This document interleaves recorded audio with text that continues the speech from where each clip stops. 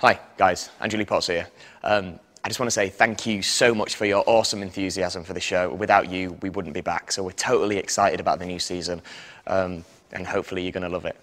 Get ready for the wildest ride yet. Would someone mind telling me what on earth is going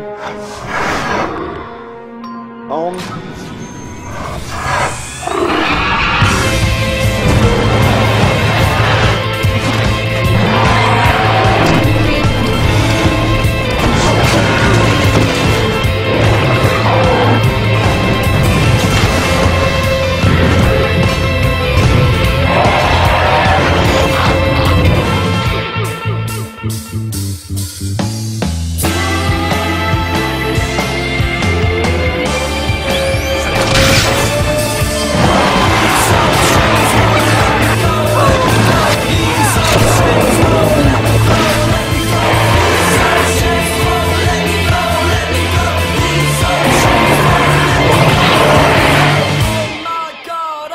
Sitting on a top.